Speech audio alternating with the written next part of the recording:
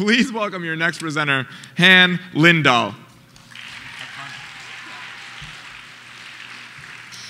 I work at a bakery, and one of the popular things to do these days is called a gender reveal. And that means ordering a cake, which secretly has pink or blue frosting inside, then hosting a party and inviting all of your friends over to guess what color of frosting is inside of the cake. Hell of a time, right? So, really, this is a sex reveal because gender is what we make of it. But But what happens if it's not that easy to answer the question, is it a boy or a girl? What happens if your baby is dealt a biological hand somewhere outside of that usual male female binary? Well, it's surprisingly common actually. Um, as many as 1 in 2,000 children are born intersex, meaning that they have some characteristic that doesn't neatly fit into that binary. Um, this may be evident at birth, but it also might not be. And for being so common, it's actually sort of unheard of. So I'm here to fix that. Um, so fasten your seatbelts, uh, because I'm going to take you on a journey not through Ralphie's digestive system, but through some of the nuances of the human sex development process.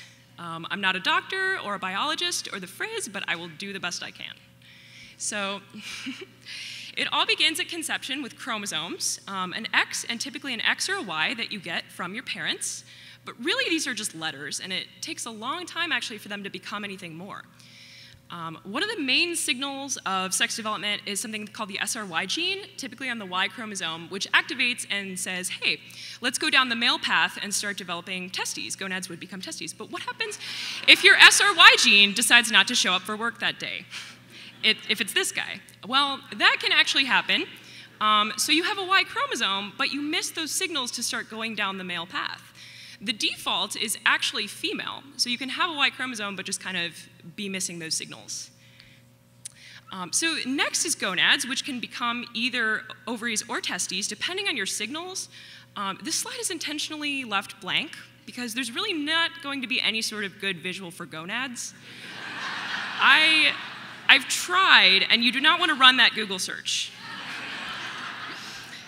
So this is where we come to me because you can be born intersex and really not even know it. Um, so here's me, four, blissfully unaware, collecting as many beanie babies as possible.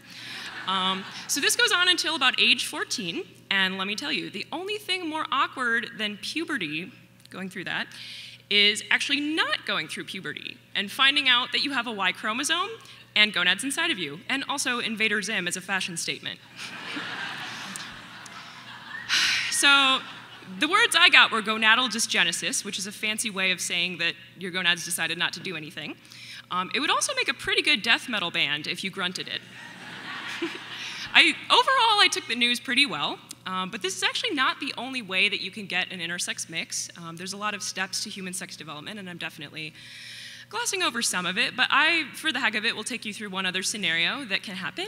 So, say you have a Y chromosome. Um, it's actually also possible to still end up phenotypically female, even if your SRY gene decides to show up for work, like this guy.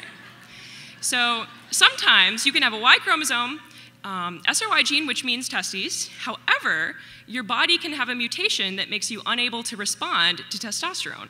And crazy thing, it actually gobbles up that testosterone, spits out estrogen instead, which, despite the fact that there's internal testes and not ovaries doing the work, it actually makes you hyper feminine on the outside. And this is androgen insensitivity syndrome, which is actually one of the most common intersex conditions.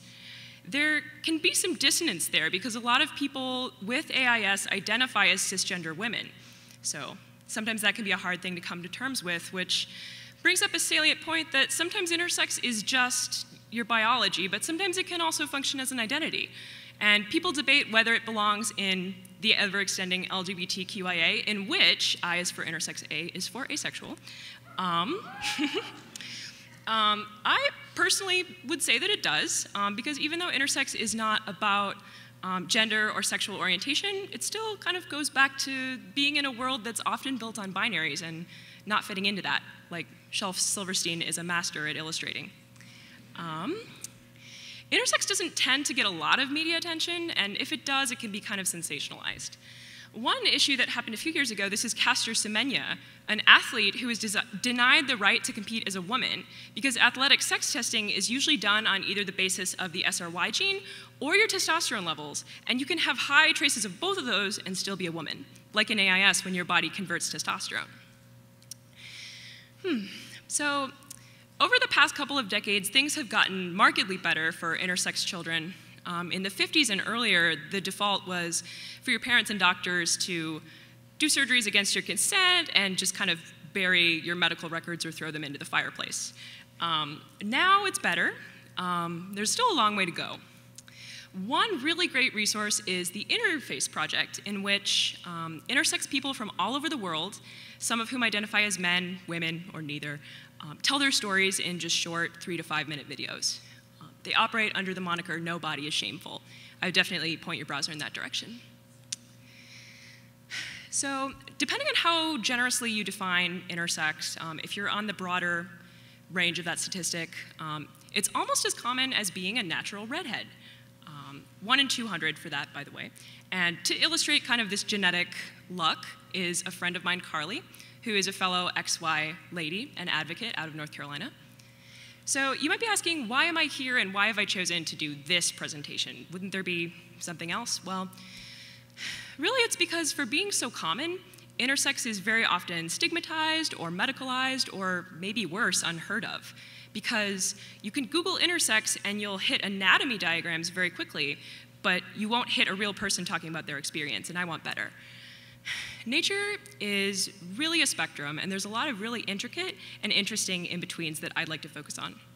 Nature never works in black and white, except for maybe when it thought of pandas. Thank you.